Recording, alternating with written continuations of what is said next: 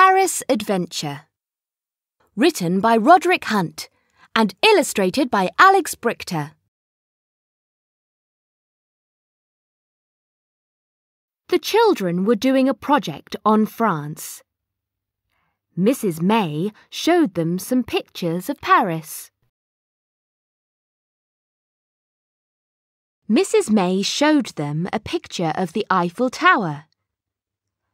It looks very tall, said Biff. After school, Mum came to meet Biff and Chip. Biff had a picture of Paris. We are doing a project on France, she said. Later, Nadim and Anneena came to play with Biff and Chip Anneena had a model of the Eiffel Tower. I know, said Chip. Let's paint the French flag. He got a big sheet of paper and they began to paint it. Suddenly, the magic key began to glow. It was time for an adventure. Oh no, said Biff. I wanted to finish painting the flag. The magic took them back in time. It took them to a busy town. There are no cars, said Chip. This must be a long time ago. I know where we are, said Biff. We are in Paris. Look at all the flags. Anneena was excited. We can go and see the Eiffel Tower, she said. The children looked for the Eiffel Tower, but they couldn't find it. Are you sure this is Paris? asked Chip. Nadim asked a policeman. Do you know where the Eiffel Tower is? he asked. The Eiffel Tower? said the policeman. There is no such thing. Anneena asked a lady. Do you know where the Eiffel Tower is? she asked.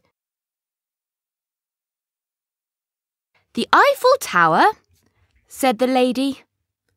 There is no such thing. I know why we can't find the Eiffel Tower, said Biff. It hasn't been invented. Just then, they saw a man. He was pulling a cart.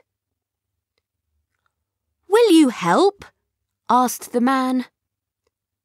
I can't get the cart up this step, the children helped the man pull the cart into a hall. The man pulled a sheet off the cart. This is my model, he said. What is it? asked Nadim. It is a torch, said the man. It will be taller than all the houses in Paris. People will see it for miles. Here is a picture. It will look like this.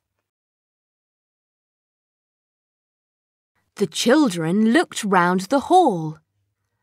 There were lots of models. It's a competition, said Chip. I know which one will win. The Eiffel Tower. But I can't see the Eiffel Tower, said Nadim. Some people began to look at the models to see which was the best. Everyone will see my torch for miles, said the man. At night, the top will light up like this. He plugged in the torch. There was a loud bang the top of the torch blew off. Then it fell over with a crash.